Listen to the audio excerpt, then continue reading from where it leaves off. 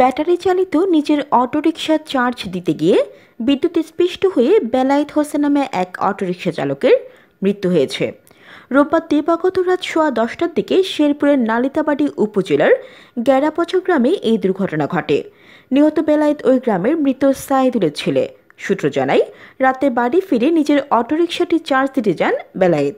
এ সময় অসাবধানতাবশত বিদ্যুৎ স্পৃষ্ট হলে ঘটনাস্থলে তিনি মারা যান। পরে স্বজনেরা তাকে উদ্ধার করে উপজেলা স্বাস্থ্য কমপ্লেক্সে নিয়ে গেলে কর্তব্যরত চিকিৎসক তাকে মৃত ঘোষণা করেন।